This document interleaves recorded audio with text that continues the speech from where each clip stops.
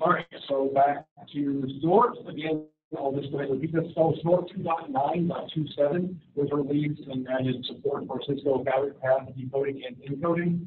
Also, um, there was an issue resolved in the normalization pre-process, which had an issue with packet resizing, and that has been fixed. Moving along, uh, this is a really interesting thread on Information Security Exchange group. Um, the guy was asking about evading IDS in exploit development.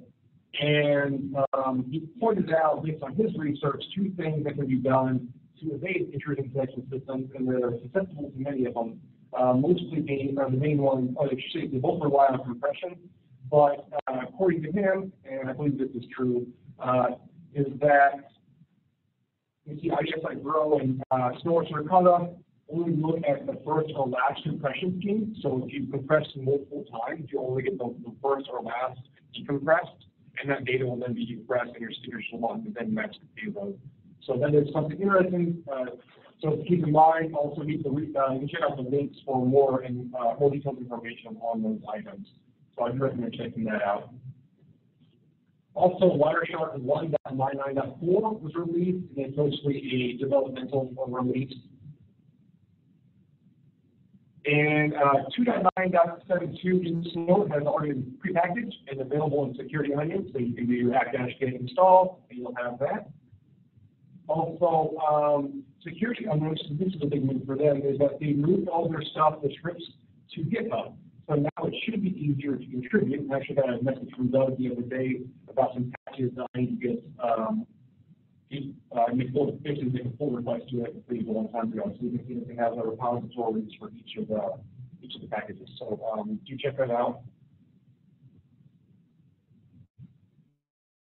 Moving on to conference order. Uh, this first conference is coming up. Um, BSide Chicago is May 16th.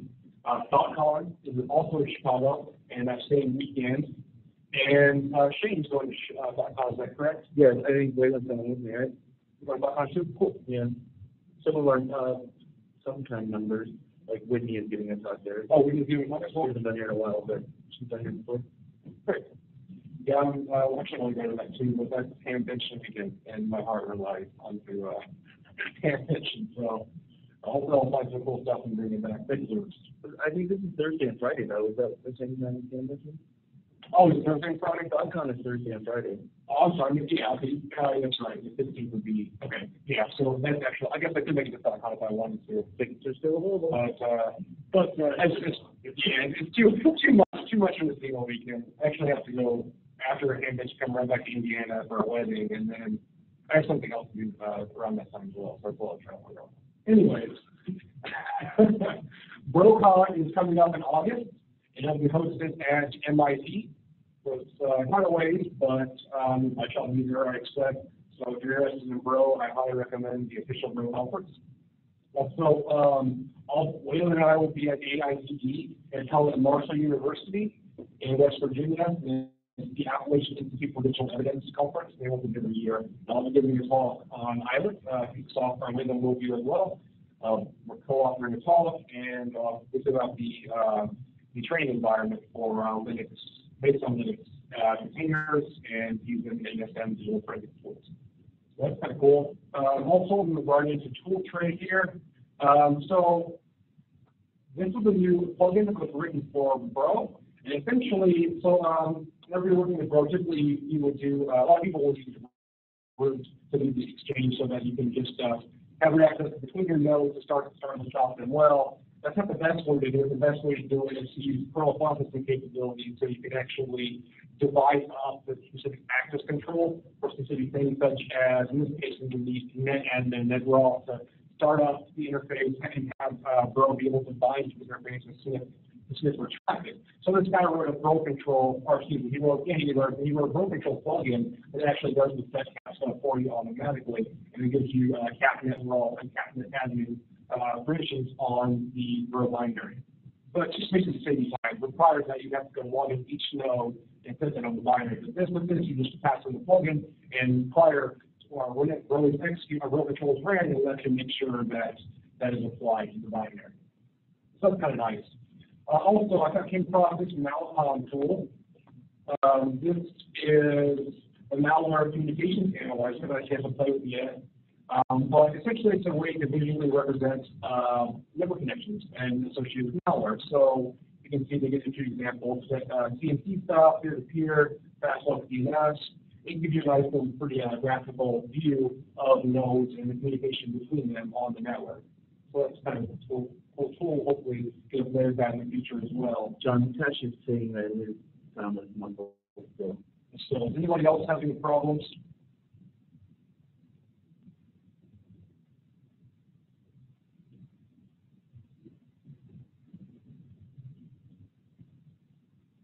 Thank you.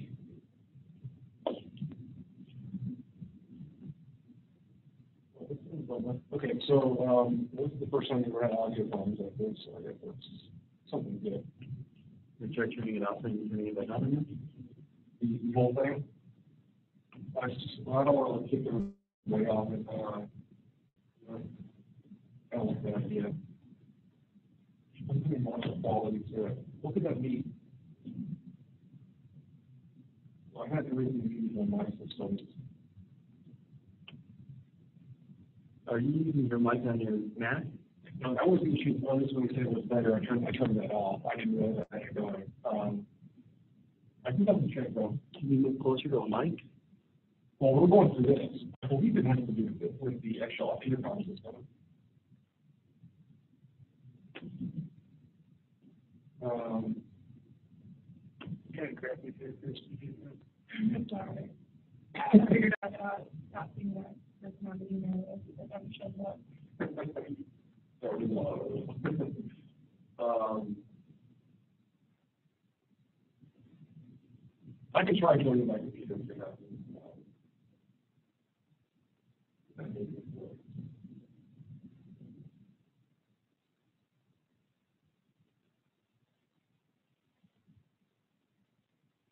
Minutes?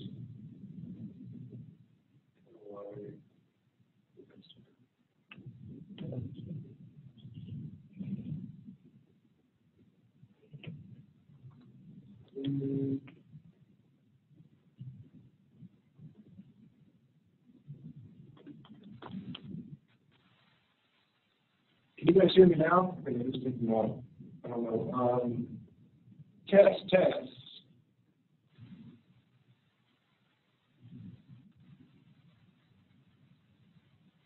Because when you're loud, it's better. Really? That's only the, output on our volume, so. Okay, all right, well, I can, I can talk a lot higher. Do I need to, do I review any of that and go back through real quick? Is there anything that's completely missed? Hey, John, this is Matt. I just want to confirm, can you hear me? Yes, I can hear you, Matt. All right, cool. Um, the only thing I'd say is, is, uh, okay, all right, I got, I got Matt is clear, which, all right, sorry for loud and clear. All right, everyone, gotcha. Um, the only thing I'd say is go back to, thanks, Zach. Uh, go back to the, um, the thing you were just talking about, uh, you were just going over. The mail column? Yes, thank you. Yeah, yeah. Let's try that. So let's go back to here. So, um, again, we talked about the Bro Control SendNap plugin where, um, you can actually uh, have the capability of fit on the Bro binary through the Bro Control plugins, but we started Bro with apply automatically, which saves you a lot of time. And if you had to do it manually. Uh, the other tool that we have, um, today on the tool tray is, uh, the tool called Malcom.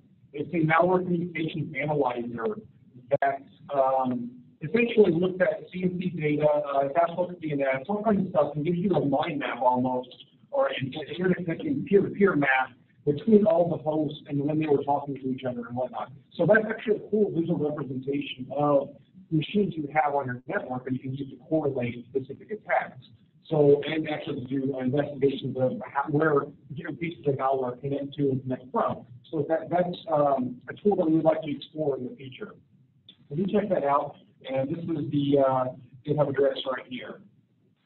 Uh, next section, we're going to go into uh, and is Dustin on the call? Dustin is not. Dustin was gonna dr- drop in, um, to talk about this tool that he, um, he's working on now. It's, a- it's a brand new tool, and, um, it is essentially, it looks me, um, a front end to osquery. So Facebook is working on a tool called OS query, which allows you to query system data across all of your, all of your computers and return them to a central server. And then this tool allows you to make the query and then actually have it in a graphical form, so you don't have to use the command line tools. And, um, you can see here, you can select everything from processes. So this will grab all the processes running on all the hosts that they have. You can see the Yeti has, you can actually click on specific ones, to type queries them themselves, it looks like. So that- that's kind of, uh, quite interesting. Um, so do check that out. We do plan on doing more, from- uh, more investigations into osquery in the future. All right, and now, um, given that Max and Brian seem to have uh, no audio troubles over there, we're gonna go ahead and pass it to them to give their talk today, uh, called Elastic NSM using the ELK stack. Uh, so, brief introduction, um, Max is as, 505 Forensics an, uh, a consultant who works in digital forensics is the response. Who's working, uh, basically doing network security monitoring deployments for a large number of, sizes of businesses, including this one, which is actually quite impressive, hundred seventy-five thousand global employees, so props to you on that, uh, Brian Marks also works with Matt, and he has been an engineer at the engineer of the Department of Defense, or a contractor, I should say, also working in similar areas with incident response, intrusion detection, and digital forensics. So I'm gonna go ahead and pass it off to you guys. I'm gonna go ahead and, I'm gonna go stop my screen, and then one of you can pick up by clicking on share screen. Great. Okay, Matt, I'll go ahead and share my screen and um, so yeah, my, my name is Brian Marks. Uh, you see my, my my screen that I'm sharing out? See that all right? Yeah, Brian, we can see you. Okay. Um, yeah, yeah, so I work with Matt Bromiley. Uh, I'm in the San Francisco office. Uh, he, he's in Dallas. And, uh, so I may be in San Francisco if I travel all over. um, on the East Coast right now. Um, Matt, why don't you go ahead and give us an intro to Elasticsearch and Yeah, yeah. So no, first and foremost, thanks, uh, thanks John and, and the Open and the Scene group for having us on here. Um, I, I got to be honest, I started hearing about your group. John, I think we've been in contact for a couple months now. But uh, as soon as I started hearing, I was like, I want to get on here. I want to help share and and and spread the knowledge, spread the word. Um, so uh, as as the introductions went over, Brian and I have been doing this for a little bit now. Our, our experience ranges from from incident response to to data breaches and all that kind of stuff. Um, but probably one of the more exciting projects that at least I've ever done, and I'm sure Brian's going to agree with me, has been deploying um, network security monitoring tools. And um, there's a lot of great products out there. I don't need to tell this group. Uh, it just so happens that in a lot of our work, we keep stumbling on Elasticsearch um, and we keep utilizing this as a tool. Now, uh, it's, it's a little bit out of this scope, but we've actually uh, ported Elasticsearch into uses for digital forensics, incident response, large-scale log analysis.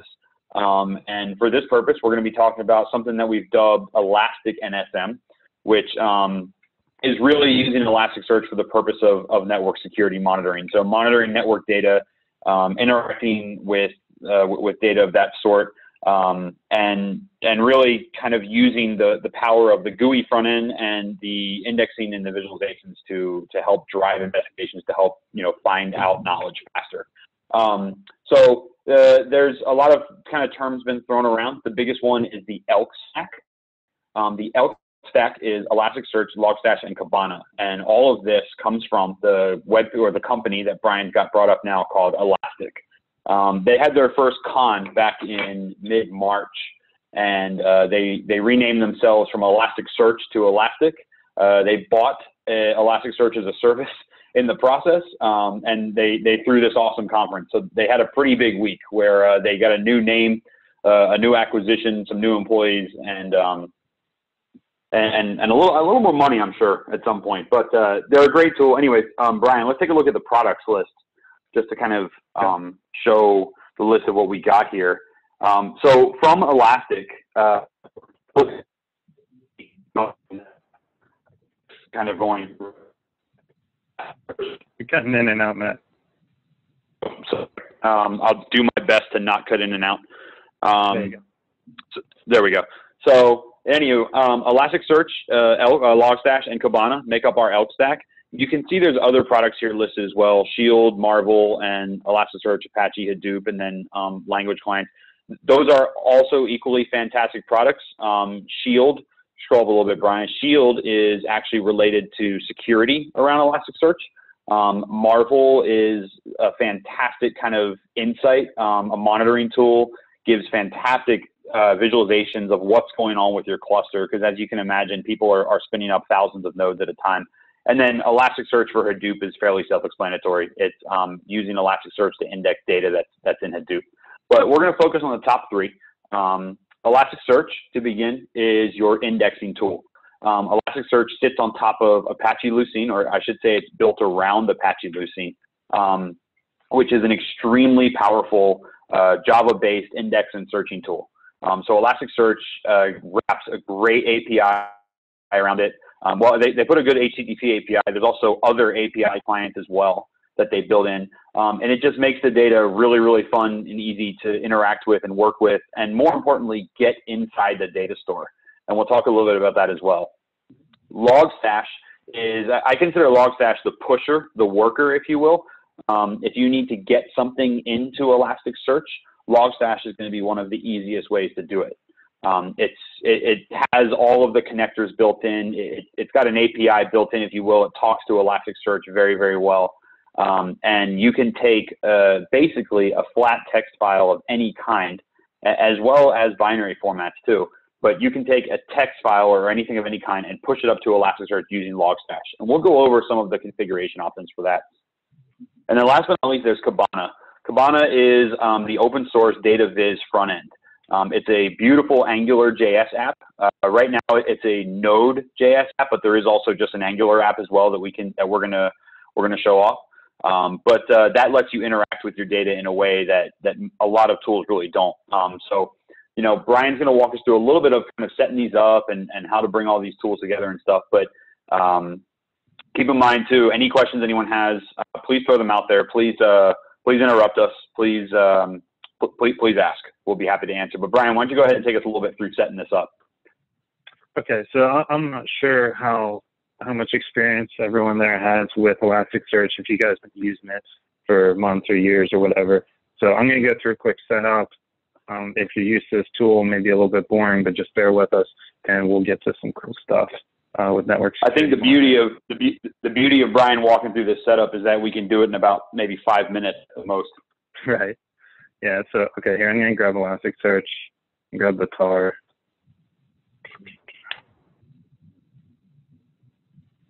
And then I'm also going to So, grab, so while Brian, while Brian's pulling all these down, um, we will say too, there's lots of data and lots of resources out there about uh, about Elk using um, bringing all of this stuff together, um, the configuration files and everything. I'll talk a little bit about this further, but um, yeah, all right, Brian, cool, Kibana. Okay, and then so Kibana 4 is the latest for this uh, presentation. We're, we're going to use 3, so we got jumped on the past releases. And Kibana 3. So this is what I was talking about a little bit earlier. Um, Kibana 4 is uh, is actually uh, a Node app, um, an, an Angular Node app, and it's super powerful and it does fantastic aggregations. The only thing is it take, and this is not a fault of anyone, just the way it is.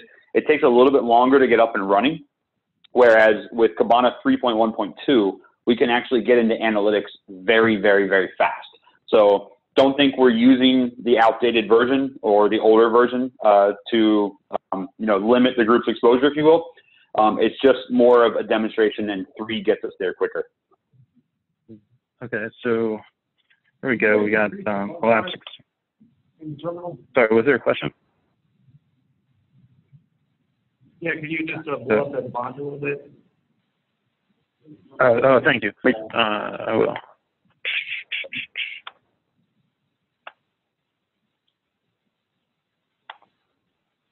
Good? That's good. Okay. So I'm going to untar Elasticsearch.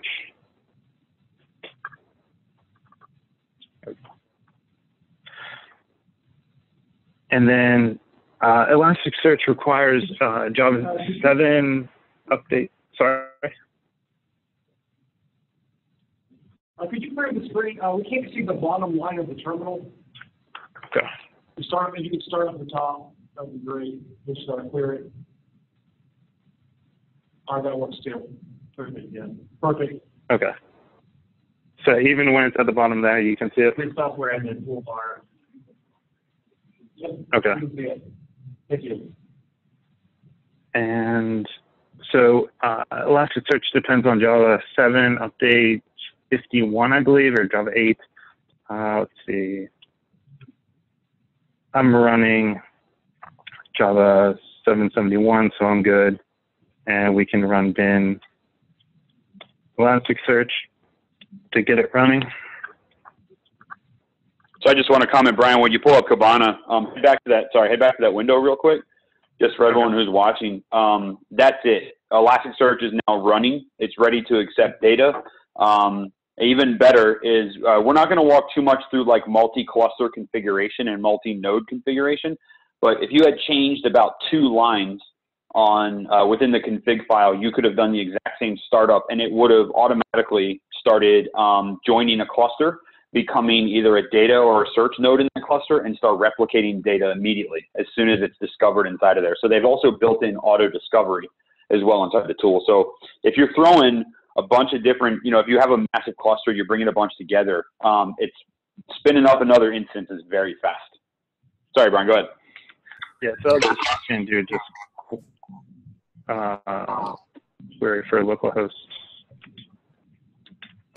So you can see that's running here. And then for Kibana,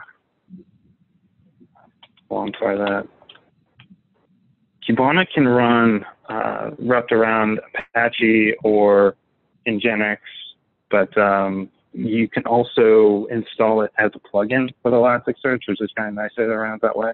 So we'll just make directory um, Elasticsearch.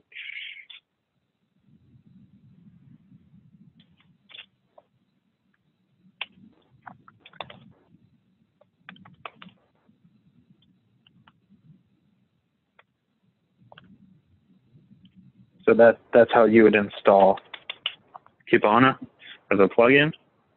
And we'll go ahead and go back and uh, run Elasticsearch. Is the underscore important? Sorry, I, I can't hear that.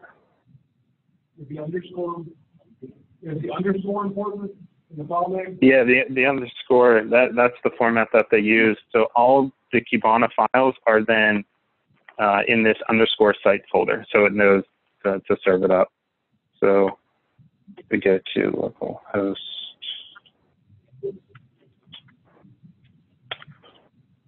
And now we're running Kibana as a plugin. So then So I think I wasn't timing it. I wasn't timing it, Brian, but I think that might have been about four minutes. it was going for the record. Um, and all right, so now we need some data in here. Uh, we're going to go ahead and use Bro. Uh, put put some Bro logs in here.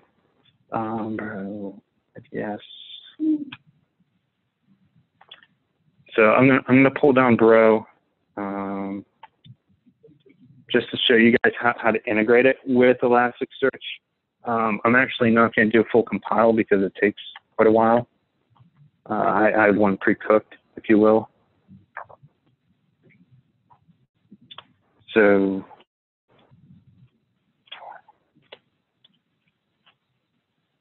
I'm sorry, Bro CD into it, and then I'll just run a configure so that you see what we're looking for whenever we're compiling Bro is this Elasticsearch support. So right now it's false.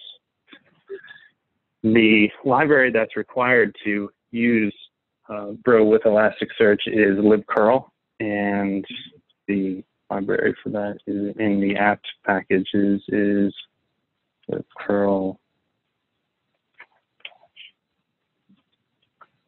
Right, install.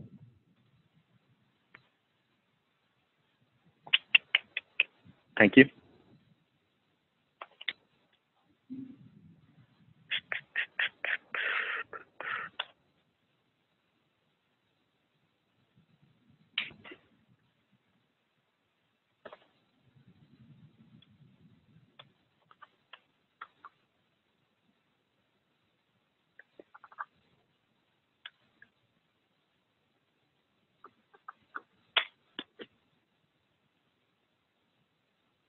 Okay, so now we'll reconfigure.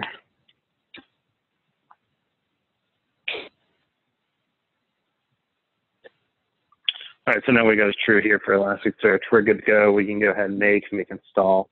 Um, I'm to step back out of here because uh, the, the, I'm just running this on a VM and uh, I'll take the rest of the presentation to compile it. So the by default in user local bro. Go in there and then do an fgrep for um, Elastic and everything. So these are the configuration files for Bro that have the pattern Elasticsearch in them. Uh, we can check out. So here, let me grab this up. Bro IDS Elasticsearch. First result for this is, is the Bro documentation on how to integrate it with Elasticsearch. And it'll have exactly the same thing I just went over right here. And then we're going to load this to our bro, right here.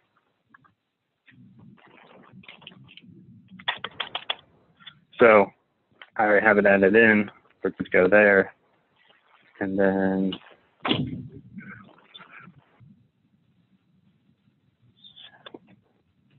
and then we also have here's the uh, tuning policy.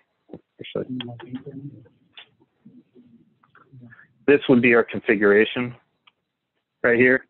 So this is the Elasticsearch.bro uh, file, and you can change your cluster name by default. All this stuff works out of the box. We're running localhost for 9200. Everything looks good. If you want to tune it to your to your instance, you go right ahead. Yeah. So, hey, Brian, let me just jump in. Um, Okay. So to talk a little bit about kind of how the elk stack comes together, um, there's a couple different ways, obviously, that you could get Bro logs into Elasticsearch if you wanted to. Um, you could run Bro and then output to a typical directory var log or, or the local, wherever you wanted to, and have Logstash monitor that directory if you wanted. Um, and then Logstash would capture the logs and push them up. Or you could have Bro automatically output to ES and just specify the IPs and, and, and ports and everything on your local instance. So if you've got Bro nodes deployed, you know, all over a, an enterprise or whatever it may be, there's a couple different options to, to get that data up to ES. Okay, so I'm going to go ahead and, and run Bro on this uh, malware traffic analysis packet capture, and we're going to uh, send the data to to Elasticsearch. So I'm going to cap my bro command I have here. So we're going to run user local bin bro, and then take in that pcap. And then this is the tuning policy that we want to load to run lost Elasticsearch. And then I also add this one just for fun. We want our uh, the, the files MD5 and SHA-1 so, so we can have that data. So let me go ahead and run that.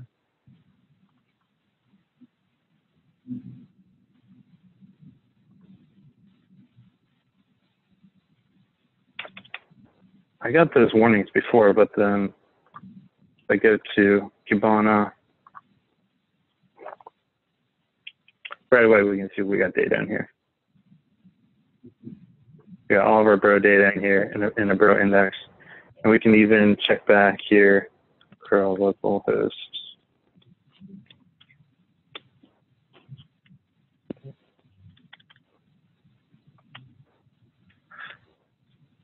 Sorry, sorry for the big block of text here. Um,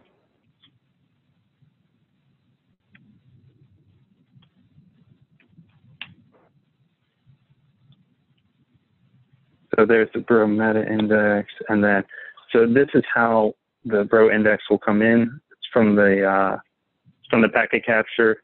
Uh, gets the gets the datetime and names it like that. So now that we have some bro data in there, we're also going to add some Suricata data. And for that, we go ahead and go to Suricata website.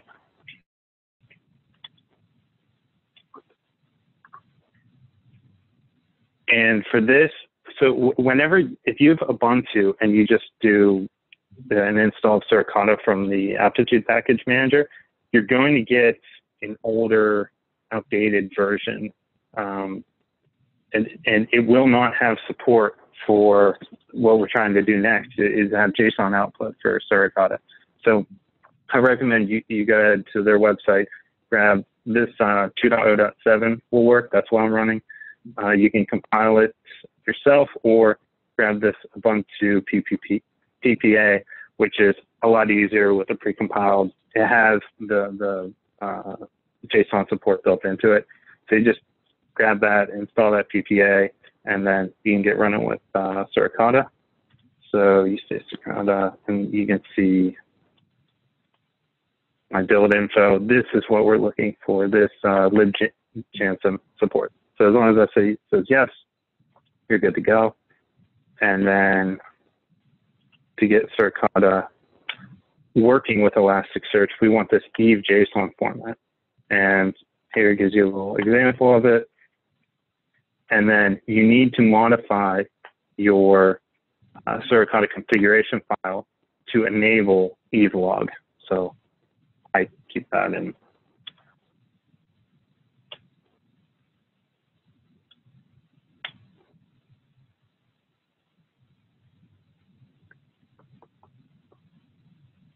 Okay, so here we go. Here's my config. I have the evelog turned on. So we can go ahead and run this. Suricata.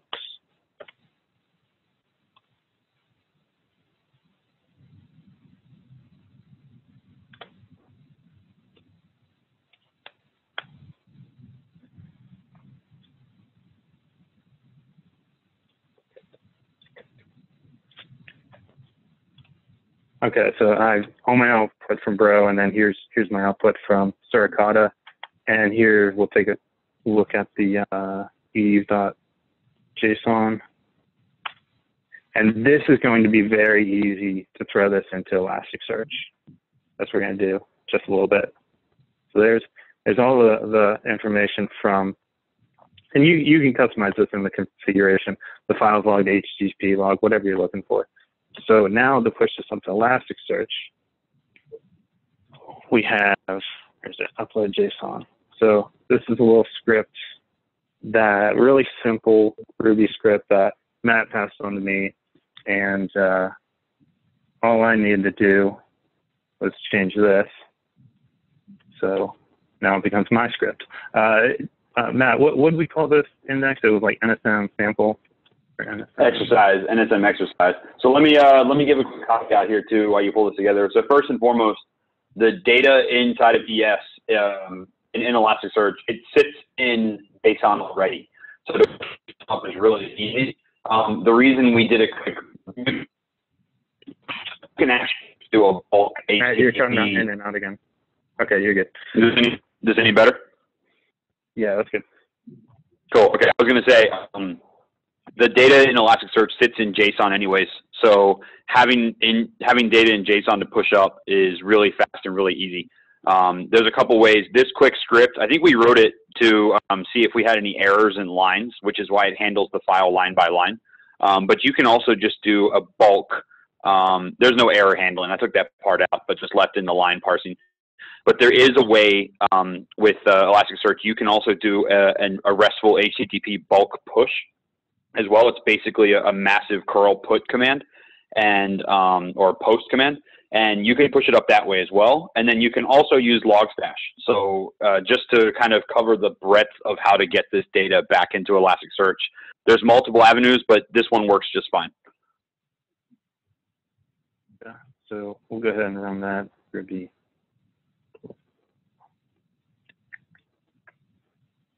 Just run it like this.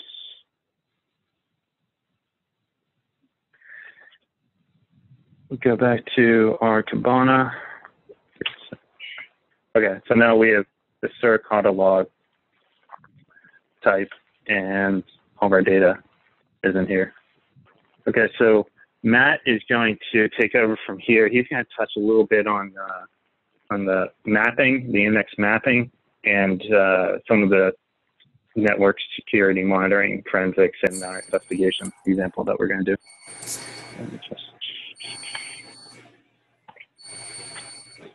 Go ahead and share out, Matt.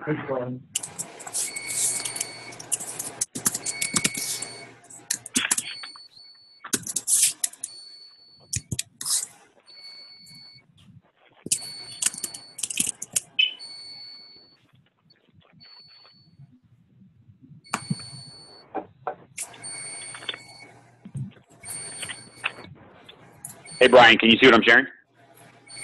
Yeah, yeah, I'm seeing Kibana and Chrome. Okay, cool. I don't know if someone who just joined has got a lot of background noise going on.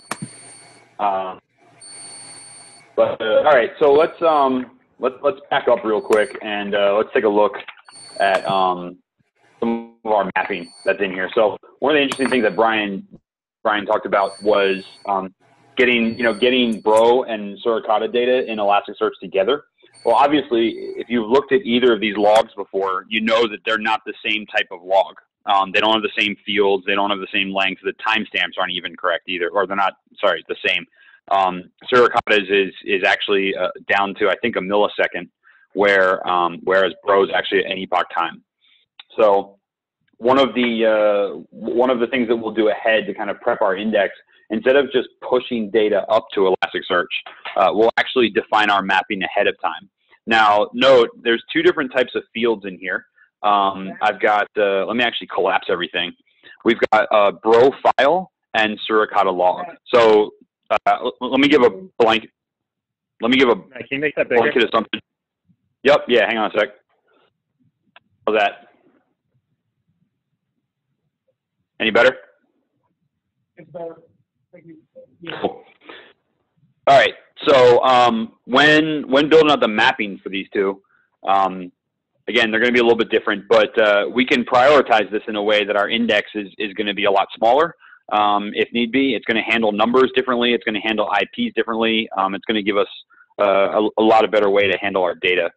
So again, we're doing historical PCAP analysis, but there's no reason you couldn't stream live files if you wanted to. But for the sake of this exercise, um, we're looking at the um, PCAP analysis exercise from uh, malware traffic analysis.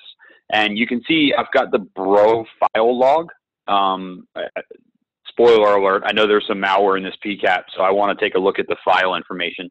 Um, everything here is just input as a string, except for our timestamp. Now note, I kind of did this on purpose to show the difference between the two. Um, but this takes all of the different fields from our bro log and pushes them up as strings. If we take a look at an optimized index, where which is our Suricata logs, now we've got things broken out a little bit better into string, long. Um, we've defined some an analyzer for our signature field, and I'll get into just in a couple minutes what this means. Um, we're handling our IPs a little bit differently, and we've actually got nested JSON documents inside of here, which is really good. So for HTTP, we're looking at host name, method, refer, user agent, so on and so forth. So nesting the JSON lets us handle it a little bit, lets, lets us work with it a little bit more efficiently. Um, and then I think also one of the most important concepts about when pushing data up is that you have to tell um, a visual front end what field is my timestamp. So you want to make sure your timestamps line up from source to source. So if anyone can think of bro logs off the top of their head, um, the timestamp for bro is actually just TS. Um, for the sake of this, I've changed it on the upload to timestamp, and uh, that's an that's an easy configuration tweak. But I've changed that to timestamp, and then for Suricata log, we also have a timestamp as well. So regardless of all the other fields that are there, um, we are going to be doing. You know, luckily our times are going to line up. So uh, in attempts to mimic the index that Brian was building, um, let's take a look at early Kibana. Uh, can anyone let me know, is this good size? Uh, maybe a little bigger. A little bigger. All right. Let's see. How's that? Yeah, good. Cool. All right. So what we're going to do now, um, by default, Kibana is going to look for indexes that stem from Logstash, but by no means is that a handicap. So um, what we're going to do is actually tweak this to uh, take a look at our NSM exercise index. Um, we can actually, anything in brackets is static, anything, and then we can also display date value. So we can store this in, in multiple different ways. Our time picker, we're going to take out the at stamp, uh, the at uh, symbol. So our time field is actually going to be timestamp. And we'll keep it dark just because that's fun. Um, let's go ahead and refresh our page based on our settings. Now, this is your basic Kibana dashboard. It looks very boring without any data inside, but luckily we can use our time picker here and we're going to go back 30 days. Notice our histogram here is actually thinking. Um, it's thinking because I've got to give this one the right field as well. So we're going to change the field inside of our time picker to actually be timestamp instead of at timestamp. Perfect. Okay. So now we're starting to see some data. is the log stash uh, format for metadata. Yep. Yeah, exactly. If you push data up via Logstash, it's going to be um, it's going to be pushed. The date is going to be pushed up as at log at at timestamp.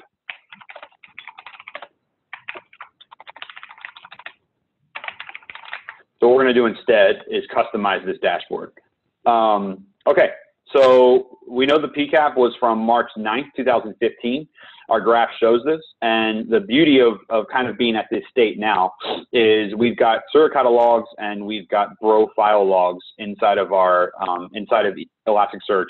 We're now going to play around with our data. So without really digging into a log, we're going to investigate and see what happened during the course of this PCAP, right? We, we're, we're interested in, in how this played apart. So just to get an overview of what's here, we've got a basic query box.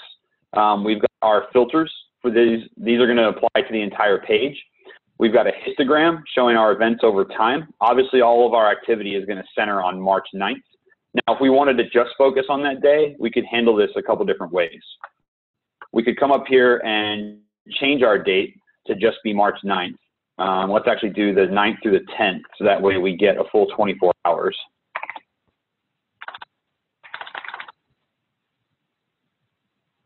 And now you see we've got a full 24 hours and our activity, uh, the graph is centered a little bit, but we're looking at, at just a day of activity. I actually might have a little bit more. Okay, I go till 6 p.m.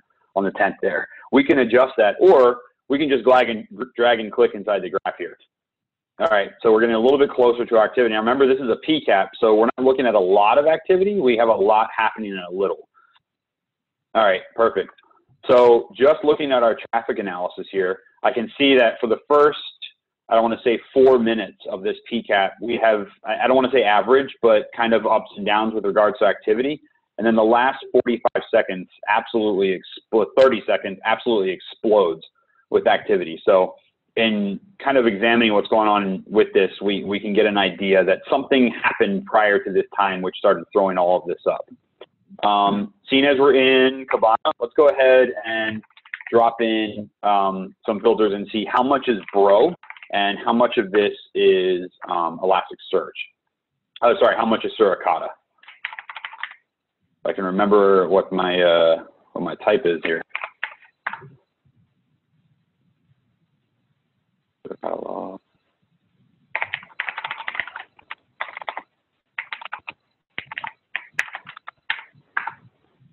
Okay, perfect. So we've got 834 events that are Suricata log type. Um, we can go ahead and color this. We'll color it red. Let's call it Suricata activity. We'll pin this in there and we'll drop a new search in. And what we're going to have now is uh, we're going to start to see some uh, some red in here as well. Perfect. So our graph is now updated. The yellow is everything, and the red is what what is Suricata. So we're going to have some uh, some overlap there. So let's try a different type now. I think it's profiles. I'm not sure why that one's not coming through, but uh, we'll we'll hang tight because I know that we're going to run into the data. Um, anyways, so we've got an aggregate going here, um, Suricata versus overall activity. Uh, as you can expect, we start to see a little bit of Suricata dotted in and out. We can hover over any of these periods of time, and they're going to give us back some statistics that we see there. So 10 events per second with Suricata versus 21 aggregate. Um, we get here, we're looking at the 182 events of Suricata versus 367 aggregate. So we can start to profile what's in there. Now, the other thing I know from Suricata is that we've got uh, an alert, um, an alert trigger as well. So we can look at this a couple different ways. Um, we can hit focus on our alert signature, which is going to show us a list of the alerts that are within the current view that we're looking at, or we can actually drop in a graph and profile these. So again, because it's a fully customizable Angular JS, we're going to move our histogram over a little bit. And I apologize, the resolution is probably going to throw this off. But that's okay. What we're going to do is add in a terms panel. And we're going to call this alerts. Um, our field is actually going to be alert.signature. So uh, I won't go through all the fields, but we basically want to display a pie graph because pie graphs are cool and fun of all of the alerts that we're seeing throughout this uh, throughout the traffic right now. All right, so this pie graph is completely thrown off by the resolution and looks actually quite ugly. So what I'm going to do instead is actually just change it to a um, table. And it should give us our top 10 alerts that we're seeing. Okay. I'm going to zoom back out just for the sake of showing it, and then I'll zoom back in for the demo. Um, but you can see what we've done now is now we've generated an alert table of what types of alerts are we seeing inside of our traffic. Um, we can look at it another way as well. We can come back down here to alert signature and say, hey, Elasticsearch or Kibana, show me only events with alerts in them. We can hone in on this little magnifying glass here.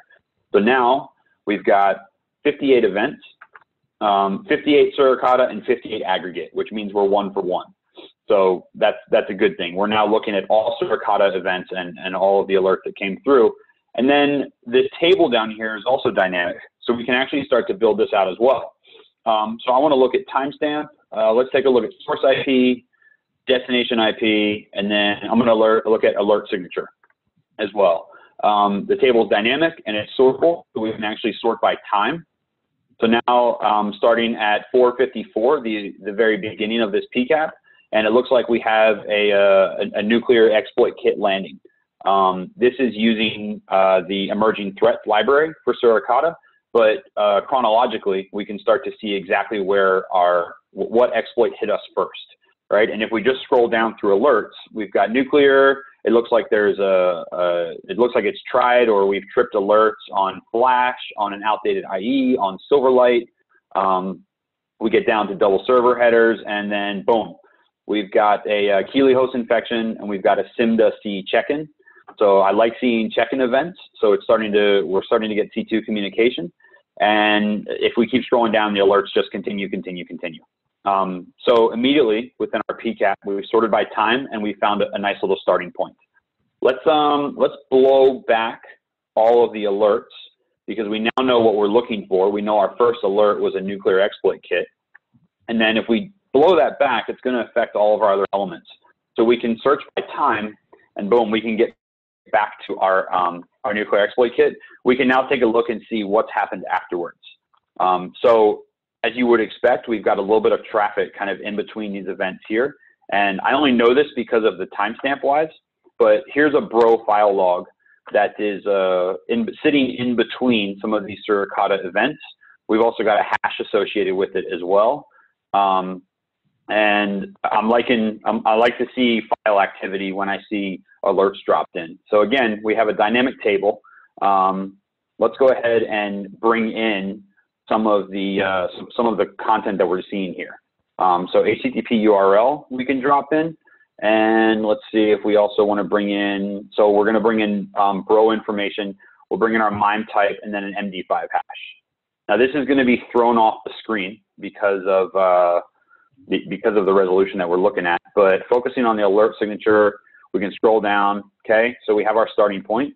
We have our nuclear exploit landing kit, and then boom, we've got immediately we've got a page request. Um, we've got to refer the fortinet.biz, and then the host name that it's referring to is a .vu. If I'm sitting and examining this P-track for suspicious traffic, I'm, I'm immediately throwing throwing an alert up. I'm a little a little nervous about what I'm seeing. And we've also got a non-human named HTML page as well. Um, so that's just one line after the packet. So we can continue scrolling down and it looks like we've got a bro finding here. We've got a hash that we could bump up against uh, a source. We could look through our system. We can compare it against the files that bro pulls out. Um, and then continuing to scrolling down, we've got a bunch of other obfuscated strings that we're seeing being referred to from our bad domain, and then strings that just come flying out of nowhere. Um, obviously, see. Uh, Matt, go back there. You see what it's delivering as well in the, the MIME type? When, whenever you yeah, sure. Out. Yep. Yeah, so right here, uh, let me see. So it's a blank MIME type. What's up? The one above it? Yeah, that one. Perfect. Hey, good point, Brian. Thank you for pointing that out. I, I completely skipped over it. Um, you're right. No, take a look at our content type, an application octet stream being pulled down from this link, um, which, uh, you know, is, is going to throw up another flag for me. Um, is, is going to put another another pin that I need to investigate a little bit further. Right. So we are seeing nuclear payload event. Yep. Exactly. So let's see if we have one here. Okay, so these are our, our text HTMLs. And the beauty of all this, and again, if the focus here is to think about Elasticsearch as an analysis tool, if there's something that we want to see, right, let's go back here. Our HTTP content type, that seems to be a really important field. So let's actually back up. Let's take out MIME type and MD5 because in this resolution they aren't doing much for us. And let's drop in HTTP content type and see if this gives us a little bit more, more direction, if you will, a little bit more context. So again, our first alert drops. We've got multiple HTML files hit. Boom, a whole string of application octet streams interlaced with bro files in between as well. So another nice way to look at our data. Um, we can continue scrolling down. And again, there are some flags you can throw here, but we've got profiles uh, throwing some hashes at us, which we could look up a little bit further. Um, continuing down, we've got more obfuscated strings wrapped around with Suricata alerts. Um, so, you know, for a five minute setup, a 30 second log push, and then maybe a two minute dashboard build, we've already started to profile very quickly what's going on inside of this PCAP and, and what kind of data that we're seeing. Um, again, interlaced with bro logs, we're getting information about our files being downloaded. We're getting MD5 hashes to come out of them. Um, we're getting file sizes as well coming out of this data. So it's a long, long, long laundry list of what we can quickly pull out of there. Um, now, again, I understand walking everyone through a PCAP sounds fairly simple, but the other side of it is let's get some quick answers to our data that we're seeing. Um, so, for example, let's uh, let's see. Let, us go back and take a look. We saw something. Um, we saw a beaconing, if you will. We saw a check-in event. So let's see if we've got any other events for alert signature containing check-in. And I'm going to actually disable this so we get the red out of the way. And it looks like we've got five events giving uh, check-in, three SIMDAs and two Keeley Organized by time, um, we can see SIMDAs checking in before Keeley but immediately we've got, uh, it looks like maybe close to 45 to 45 seconds to a minute in between SIMDA, and we've got 22 seconds in between Keeley checking in. So we can immediately start to profile that type of traffic as well. Um, the beauty of Elasticsearch is again, it stores everything in JSON. So every row that you see actually is an interactive clickable event. So we can scroll down and take a look at this Trojan, uh, sorry, at this um, Trojan alert from Suricata, and we see a signature ID, we see an IP, ports. So that gives us a little bit more information to look out for. And then again, we know the time frame that we're looking for, right? So let's use this as another pivot point. Let's take a look at this last check-in event. Let's hone in on that one and let's remove this. So what else was going on around this time? All right, we've got a couple server headers being in there, um, a few more alerts being thrown. We're seeing a few more IPs. Um, let's see. And a little bit more, um, we got some more hashes from Bro coming in there. Um, we've got just, just a lot more data. So without belaboring the point, I think uh, the goal is to just show how easy and quick it is to bring a lot of different types of logs together. And when you overlay them, um, you can look at a PCAP for five minutes. And if it's an obvious thing, if the alerts are sticking out, there's a real quick win on identifying kind of what's there, um, what, you know, what shouldn't be there or, or what's sticking out, that kind of stuff. So um, it's, uh, it's, it's, it's a neat tool. I think a good way um, to bring all this to the front. In the chat if if you got time to address that. Yeah, sure, definitely. I, I, I mean, John, this is. I'm not sure how hard of a cutoff it is. I've got time if there's any other questions, but um, uh, sure.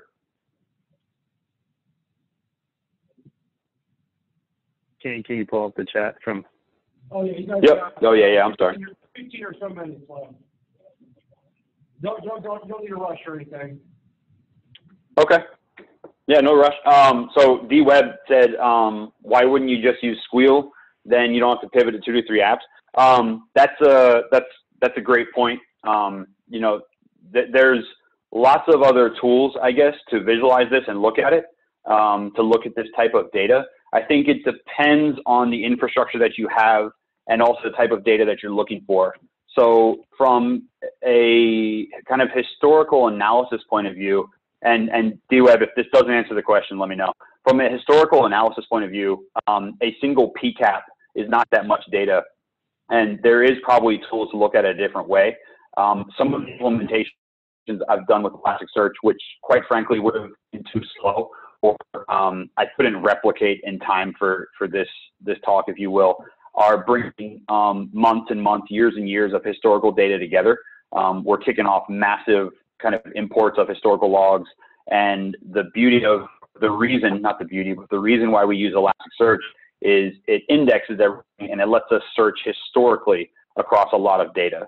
Um, so again, I guess to reiterate, for the point of this exercise, a single PCAP could certainly be examined uh, a bunch of different ways.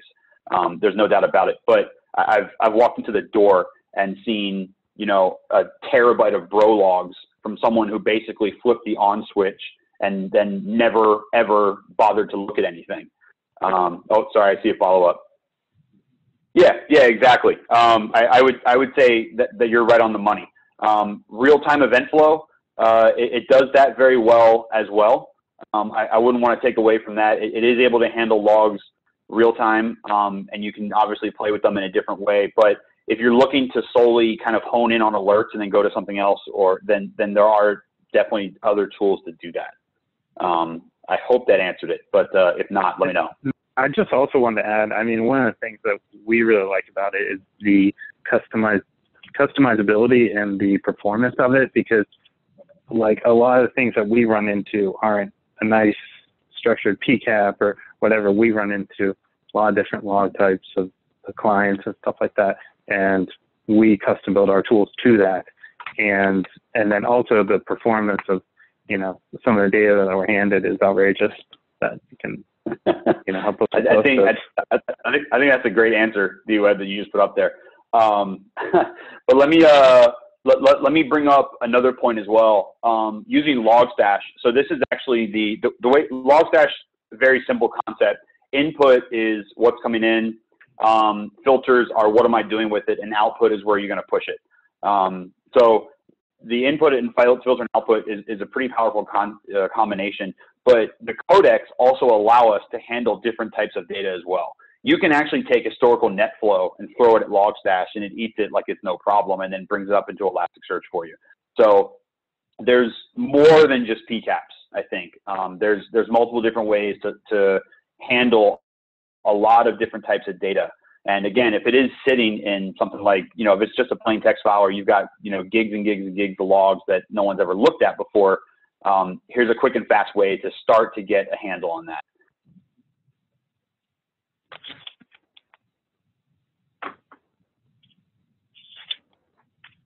I guess um, with that though, um, group, that's uh, you know that that brings us to time. So um, I'm not not going to rush. I could I could talk all day, but I understand if anyone's sensitive to that. Um, but uh, you know, uh, it, this was just a real quick kind of walkthrough of, of, a single PCAP historical analysis with the with Elasticsearch and Kibana.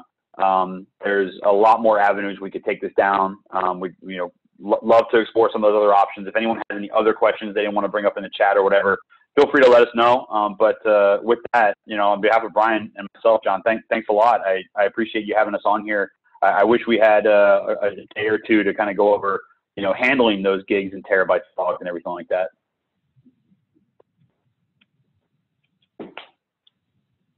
Yeah, uh, I have a question. Um, so do you know what other types of data you can actually import into Elasticsearch uh, without like using JSON or using the Logstash to pick up files in the directory? Is there any way or other uh, things that are easy to use for importing data? Sorry, re repeat repeat that one more time, John. Sorry, it, it, got a little got a little muffled on the end. Or Brian, if you can answer it. Yeah, I'm just curious about uh, more supported ways of importing data into Elasticsearch. Um, oh, yeah, yeah. You know, besides the or yeah. Yep. So, um, really, if you can, uh, if, if you can, if you can, so th there's APIs for Ruby, for Python, for .NET, for Java, for I mean, you name it. There's APIs out there. There's also rivers that can hook into other data sources as well.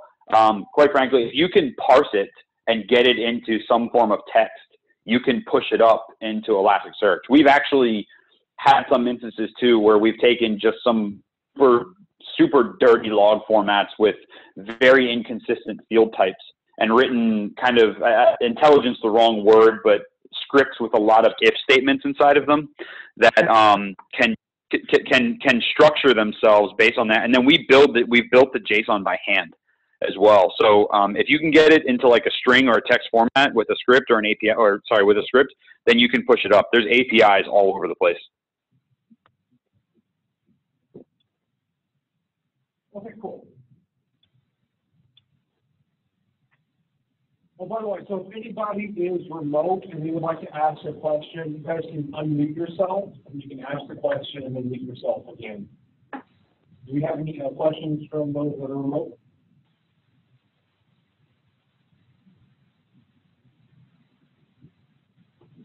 Whenever you deploy these, uh, Matt and Brian, like, do you typically do these in the single instance where you have, like, I don't know, uh, I don't know what a good measurement is, but between like hundreds of thousands or millions of events where you would probably want to use a cluster?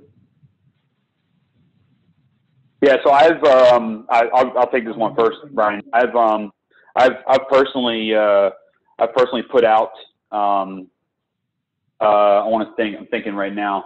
This is going to sound horrible to everyone on this call, but I've been in an environment where there were 87 ingress egress points. I know it's a, it was a nightmare. Um, but uh, so I've deployed an 87 node monitoring cluster um, where we had 87 instances of Logstash running and um, from Logstash running, we were pushing up to like a five cluster or a five node Elasticsearch cluster. Um, so it, it, was a pretty pretty big one.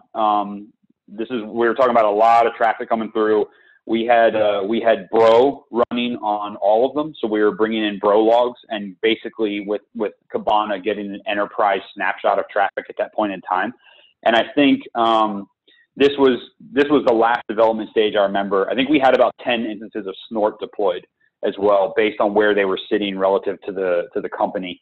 Um, and we were actually bringing in the Snort logs as well. So we were um, again overlaying everything. That that was a that was a massive cluster. That was you you could you Kibana actually has a auto refresh on it.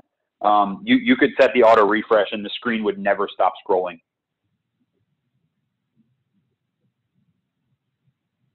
Okay.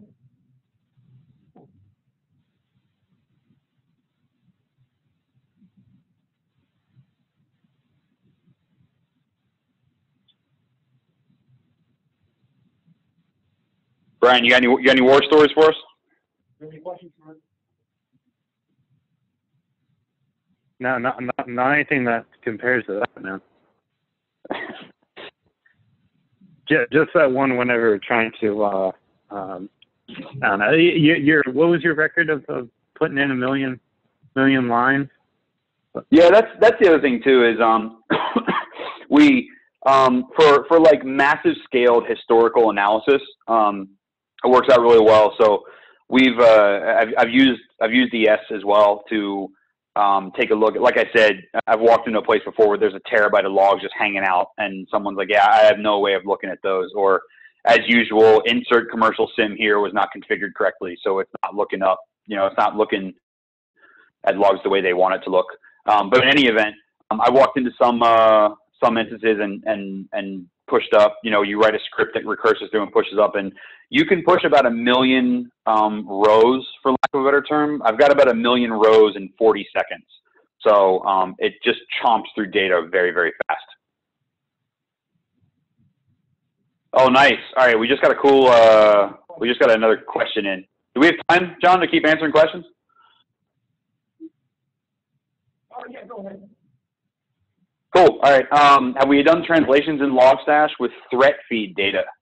Um, yes. So kind of another hidden feature. And again, I, I, apologize if it looks like we should have showed more, but there's um, definitely there's there's a lot that can be done with Logstash where um, you can actually drop in dictionaries, if you will. Oh, okay. Boom. Uh, Meh Meh's iPhone, who is uh, contributing to this as I'm talking, um, is uh, you can drop in dictionaries on Logstash, which is which are basically lookups. Um, so you, that's one way to do things. I guess enriching data in Elasticsearch is another another really cool feature as well. Um, I've used Logstash dictionaries where you can. I've actually, you know what? If you want, I can show you um, some Bro Logstash dictionaries, which um, which work out pretty well. So like the Bro conlog, for example, here. Um, zoom in. So the Bro, so if anyone looked at Bro logs, um, you know that the, uh, let me see, I'm trying to remember what, what event this is, but something in the Bro con log actually has um, connection statistics. So with Logstash, if you wanted to grab a little bit more data, or if you didn't have these memorized, you could build out a dictionary, a translate dictionary, and tell Logstash that when it's importing your data, give me this information as well. So tell me that an S0 is connection attempt seen, no reply. Tell me that a you know, an SH is originator sent a SYN followed by a FIN, but we never saw SYN-ACKs, so on and so forth. So the dictionaries really, really, really let you help out, um, really help you build out uh, some more power. The other thing you can do as well is you can enrich your data on the ingest as well, and, and I'm going to use enrich kind of very lightly, um, but uh, John, you were asking earlier about some APIs and some scripts and everything if you'd imagine what you can do with a script and an API, you know, it, it, at any point with any piece of data, um, you can do the same and then push it up to Elasticsearch. So one of the uh, one of the things that I've done before, and again, this was more of a proof of concept. It was by no means a network security monitoring methodology, and I would not recommend this to anyone as a as a flag, if you will. But every time a Bro file log dumped a hash, we'd bump the hash up against VirusTotal and, and malware and all that kind of stuff and, and get back to see if any data, like did we have any super low hanging fruit in front of us? Um, did we have anything that just, you know, threw off the Richter scale of AV alerts and that kind of stuff? So there's a, there's a couple ways to take a little piece of data and not just look at it in a visual form, if you will, but also, you know, use my API script and bump it up against a few bunch of bunch of different sources and then throw all that into Elasticsearch. And then instead of filtering on, you know, um, instead of filtering on alert signatures, for example, filter on, uh, hey, uh, show me everything in VirusTotal from the, you know, with a successful hit in the past five minutes. So a um, bunch of different ways to interpret and look at your data as well.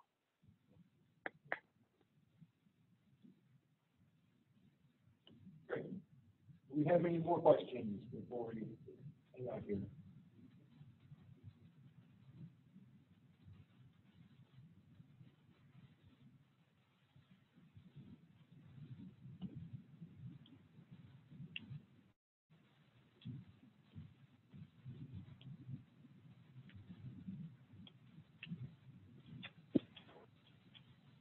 Okay, well, uh, I want to thank uh, Brian and Matt for donating their time to talk about Pulp today.